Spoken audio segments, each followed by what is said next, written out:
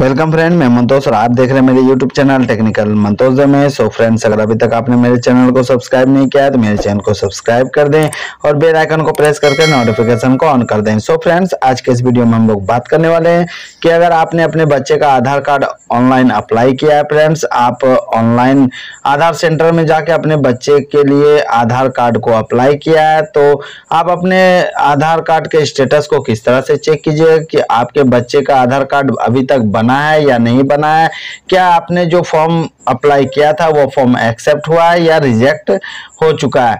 तो चलिए इसको जानने के लिए आपको इस वीडियो के अंत तक बने रहना होगा। तो हम लोग सबसे पहले क्या करेंगे अपने मोबाइल में किसी एक ब्राउज़र को ओपन कर लेंगे। तो चलिए यहाँ पे मैं गूगल क्रोम को ओपन कर रहा हूँ। गूगल क्रोम को ओपन कर लेना आपको करना क्या है? सर्च बार में टाइप कर देना है you I D A I तो friends U I D A I Aadhaar का जो ऑफिशियल साइट है आपको इसी साइट पे आके आपको सर्च पे क्लिक करना है। जैसे आप सर्च पे क्लिक करते हैं आपके सामने कुछ इस तरह का इंटरफेस ओपन हो जाएगा जहाँ पे आपको देखने के लिए मिल जा रहा है www.uidai.gov.in तो आपको इसी वाले लिंक पे क्लिक करना है। इस वाले लिंक पे आप जैसे ही क्लिक करते हैं आपके सामने कुछ इस तरह का इंटरफेस ओपन हो जाएगा।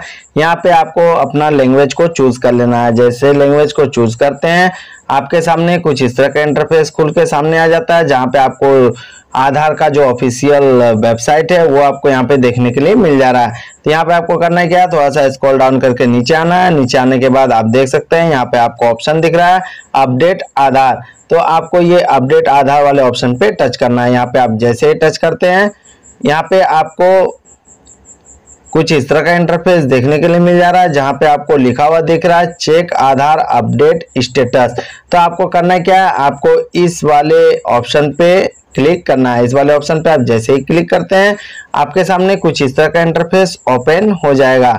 जहाँ पे आप देख सकते हैं, यहाँ पे आपको लिखा हुआ दिख रहा है check enrolment and update status तो यहाँ पे आपको करना क्या है, यहाँ पे आपको जो आधार सेंटर के द्वारा एक रिसीविंग पेपर दिया जाता है, जिस रिसीविंग पेपर में इनरोलमेंट आईडी होता है, वो इनरोलमेंट आईडी आपको यहाँ पे फिल करने होंगे। तो इनरोलमेंट आईडी 14 डिजिट का होता है और 14 डिजिट में आपका डेट ऑफ़ बर्थ ईयर और टाइम आवर और सेकेंड ये सब होते हैं। तो ये 14 डिजिट का होते हैं। तो इनरोलमेंट आईडी जो है, वो कुल मिलाकर आपको 28 डिजिट का होता है। तो यहाँ पे आपको करना क्या है? इनरोलमेंट आईडी को फिल करना है और उसके बाद यहाँ पे आपको जो कैप्चा कोड दिया गया है, ये कैप्चा कोड को यहाँ पे फिल कर देना है और उसके बाद सबमिट पे क्लिक कर देना है। तो चलिए हम लोग पहले इनरोलमेंट आईडी जो 28 डिजिट का होता है, उसको फिल करते हैं और उसके बाद आगे के प्रोसेस पे चलते हैं। तो यहाँ पे आप देख सकते हैं, मैंने जो इनरोलमेंट आईडी था, उसको फिल कर दिया और कैप्चा कोड को सही सही से यहाँ पे फिल कर दिया और आपको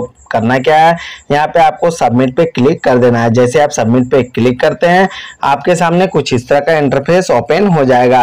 तो यहाँ पे आपको करना क्या है, थोड़ा सा स्क्रॉल डाउन करके नीचे आना। नीचे आने के बाद आप देख सकते हैं, आपका जो स्टेटस है वो स्टेटस आपको यहाँ पे देखने के लिए मिल जाएगा।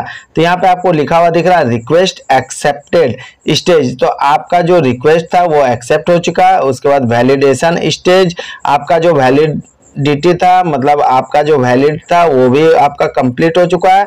और यहाँ पे आपको लिखा हुआ दिख रहा है your Aadhaar has been generated और आपका आधार जो है, वो बन चुका है। उसके बाद आपको यहाँ पे लिखा हुआ दिख रहा है while your Aadhaar is being printed and posted to you please download ये आधार फ्रॉम www.uidi.gov.in तो आप इस साइट पे जाकर आप ये आधार को डाउनलोड कर सकते हैं। तो इस तरह से आप अपने आधार के स्टेटस को चेक कर सकते हैं कि आपका आधार अभी तक बना है या नहीं बना है, या आपका आधार एक्सेप्ट हुआ है या रिजेक्ट हो गया है। तो आशा करते हैं ये वीडियो आपको पूरी तरह समझ में आ गया है। अगर मेरा वीडियो आपको अच्छा लगा है तो मेरे वीडियो पे एक लाइक कर दीजिएगा और अगर मेरे चैनल में नए आए हैं तो मेरे चैनल को सब्सक्राइब कर दीजिएगा।